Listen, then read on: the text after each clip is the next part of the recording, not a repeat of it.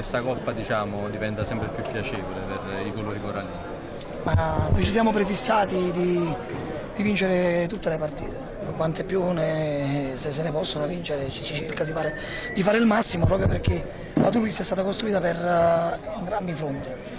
Non ci siamo prefissati nulla, però è normale che partita dopo partita poi l'appetito viene mangiando. La Nocerina oggi certamente non era il Pomigliano, era una squadra molto ambita con 5-6 giocatori di, di, spessore e noi non l'abbiamo né uh, diciamo, sottovalutata né uh, messa, messa, ci siamo messi in guardia.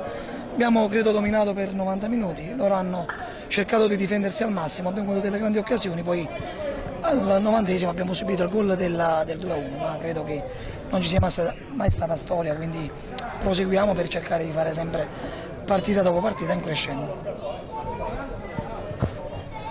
Vicenda stadio. Ma queste sono cose che riguardano il Presidente ripeto, a me dispiace sentire queste cose, una persona che ha fatto tanto per Torre del Greco, non ha altre ambizioni fuorché a tirare soldi dalla tasca per fare un calcio e per costruire una Turris e portarla tra quest'anno ed il prossimo in Lega Pro, gli, gli vengono diciamo, imposte delle situazioni che sono poco piacevoli, ma sicuramente credo che si risolverà perché il Presidente ha le qualità e le carte in regola per poi accedere alla gestione del campo. Direttore, lo spettacolo delle due tifoserie sugli spalti che rinnovano uno splendido gemellaggio. Ah, la Nocerina e la Turis credo che debbano ambire ad altre categorie, non è una sviolinata e non è una, una frase fatta. Oggi lo hanno dimostrato nel massimo della correttezza e nel massimo della tranquillità.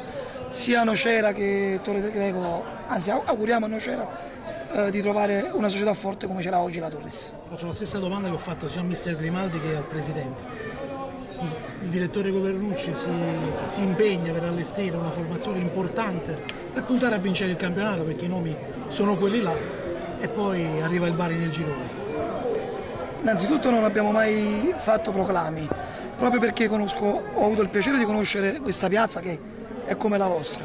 Noi non abbiamo mai detto di vincere il campionato, abbiamo una squadra attrezzata e faccio la domanda, faccio, do la risposta al modo eh, inverso.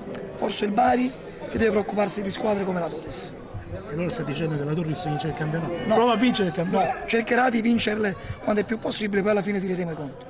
Invece la pubblicazione dei gironi che impatto ha avuto rispetto a come ci eravamo lasciati la settimana scorsa, ovvero di quelle porte sempre aperte al mercato se fosse capitata qualche occasione, questo vi ha dato una scossa in più, ne avete parlato dopo i gironi?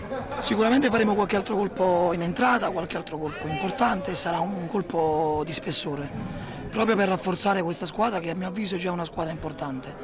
Riguardo poi ai gironi sono da una parte diciamo non deluso, però questo è il, calcio voglio dire, ma non è possibile dare modo a chi... Eh, viene da un fallimento e poi appoggiarsi ad un lodo e, e trovarsela nel girone dove squadre anche come Marsala, come Messina, come noi, come Gela, appunto a fare qualcosa di importante.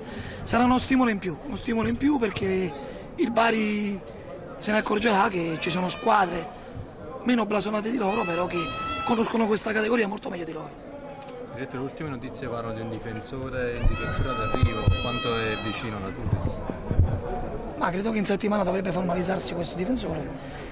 Ormai è, all'orecchio e agli occhi di tutti, quindi sarà quasi addirittura d'arrivo per rafforzare, senza togliere alcun calciatore però, rafforzando ancora di più la squadra, poi è normale che uh, le scelte le fa il tecnico, ma noi andiamo solo a, a rinforzare.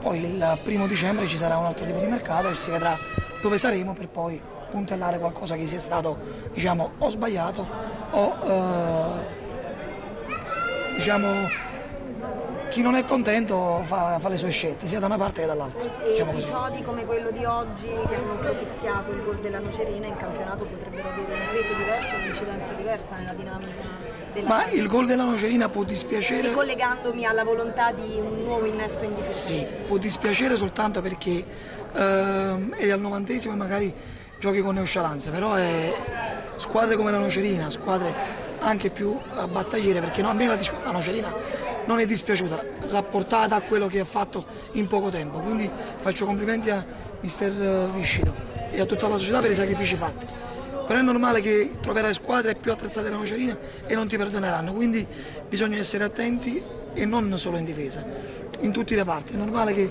si va a parlare della difesa perché è agli occhi di tutti che se prenderemo prenderemo un difensore.